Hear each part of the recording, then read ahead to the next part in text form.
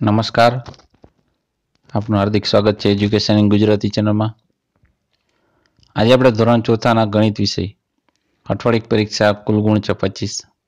પચીસમાંથી પચીસ મેળવનાર વિદ્યાર્થીનું નામ છે ચાંડેલા ચિત બી. બીજા ઘણા બધા વિદ્યાર્થીઓએ પચીસ મેળવ્યા છે, એમને પણ ખૂબ ખૂબ અભિનંદન. એમનાનું નામ આ વિડીયોના અંતમાં આવશે. તો જો પ્રશ્ન પેલો, નીચેના આપેલ કોષ્ટક પૂર્ણ કરો. ત્રિજ્યા અને વ્યાસ. ત્રિજ્યા કરતા વ્યાસ હંમેશા બમણો હોય અને વ્યાસ કરતા ત્રિજ્યા હંમેશા અડધી હોય છે.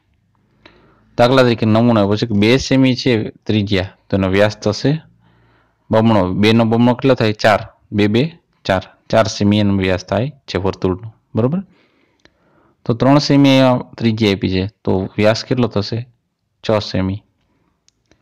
બીજામાં વ્યાસ આપ્યો છે, બાર સેમી વ્યાસ આપ્યો છે, તો એની અડધી થશે ત્રિજ્યા છ સેમી. ત્રીજું, સાત સેમીની ત્રિજ્યા તો સાત બે ચૌદ. ચૌદ સેમી વ્યાસ થશે. ચોથું, સોળ સેમી ત્રિજ્યા છે તો એનો વ્યાસ કેટલો થશે? સોળ સેમીનો વ્યાસ થશે બત્રીસ સેમી. દસ સેમીનો વ્યાસ છે, તો એની ત્રિજ્યા અડધી થશે. દસની અડધી શું થશે ત્રિજ્યા પાંચ સેમી. પ્રશ્ન બીજો એવો છે કે નીચે આપેલ વર્તુળના ત્રિજ્યા અને વ્યાસના માપ શોધવાના છે. તેના પરથી કયું વર્તુળ મોટું છે કહેવાનું છે. હવે કેન્દ્રથી અહીં આપણે ફૂટપટ્ટી રાખીને ચેક કરવાનું કેટલું ત્રિજ્યા છે. તો આ વર્તુળ ત્રિજ્યા છે બે સેમી. તો એનો વ્યાસ કેટલો થયો? ચાર સેમી થયો. બીજું, વર્તુળ છે એમાં કેન્દ્રથી અહીંયા વર્તુળ સુધીનું માપ એક પોઈન્ટ પાંચ સેમી ત્રિજ્યા છે. તો એનો વ્યાસ અહીંથી બમણો, એટલે ત્રણ સેમીનો થયો. તો આપણે કહી શકીએ વર્તુળ બે છે. એના કરતાં વર્તુળ એક, આ મોટું છે એમ કહી શકીએ છીએ. પ્રશ્ન ત્રીજો, પરિકરની મદદથી પાંચ સીમીવાળું ત્રિજ્યાવાળું વર્તુળ દોરો. તેમજ કેન્દ્રમાંથી ચાર સીમી ત્રિજ્યાવાળું વર્તુળ દોરો અને તે જ કેન્દ્રમાંથી બે સેમી ત્રિજ્યાવાળું વર્તુળ દોરો. હવે કેન્દ્રથી એક આપણે શું કરવાનું? પહેલાં તો પાંચ સેમી સુધી માપ લઈ લેવાનું. પછી કેન્દ્રથી અહીંયા ચાર સેમી, કેન્દ્રથી બે સેમી આમ પોઈન્ટ કરી નાખવાનું. બરાબર? ત્રિજ્યાના. પછી પરિકરનું માપ અહીંયા રાખી અને અહીંથી જેટલા માપના છે એટલા આપણે વર્તુળ કરી નાખવાનું પરિકરની મદદથી બરાબર? એટલે ત્રણે ત્રણ વર્તુળ સરળતાથી થઈ જશે. પહેલાં ત્રિજ્યા જ દો નાખવાની પાંચ સુધીની. જીરોથી પાંચ પછી જીરોથી બે જીરોથી ચાર. એમ ટીક માર્ક કરી પછી વર્તુળના પરિકર મદદથી વર્તુળ સરળતાથી દોરાઈ જાય. પ્રશ્ન ચોથો અ નીચે આપેલ સૂચના મુજબ કરો. તો પેલું છે સંખ્યા અંકમાં લખવાનું છે. પચાસ હજાર પાંચસો એક.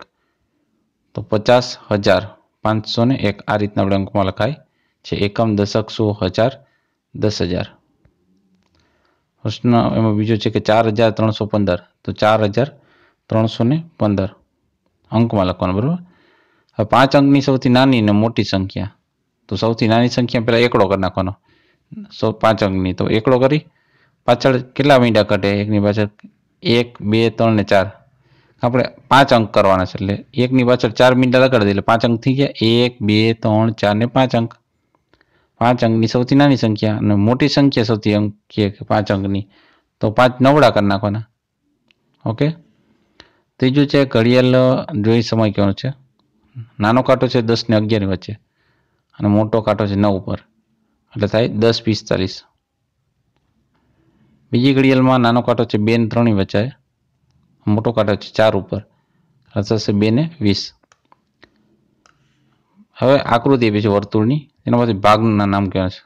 ઓ છે એ શું છે? તો વર્તુળનું કેન્દ્ર. એ બી માપ છે એ શું કહેવાય? વર્તુળની વ્યાસ.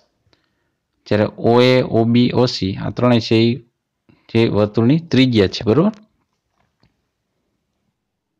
પ્રશ્ન પાંચમો. પરિકરની મદદથી ત્રિજ્યાના માપના વર્તુળનો છે. આ ત્રણ સેમીનું વર્તુળ. બે પોઈન્ટ પાંચ સેમીનું વર્તુળ, ત્રણ પોઈન્ટ પાંચ સેમી વર્તુળ અને બે સેમીના આમ ચાર વર્તુળ પૂછાયા હતા. હવે આપણે જોઈએ બીજા કયા વિદ્યાર્થીને પચીસમાંથી પચીસ ગુણ આવ્યા છે?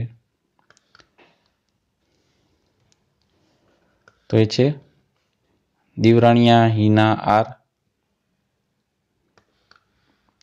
દીવરાણિયા પ્રતિક, ચોરા આયુષ રામભાઈ પાયલ પી મુળિયાસિયા. ચાંડેલા રિધિ કેશવભાઈ. આ દરેક વિદ્યાર્થીને પણ પચીસમાંથી પચીસ ગુણ આવીએ છીએ. તો એમને પણ ખૂબ ખૂબ અભિનંદન. તો જોતા રહો એજ્યુકેશન ગુજરાતી અને શીખતા રહો. થેન્ક યુ આભાર.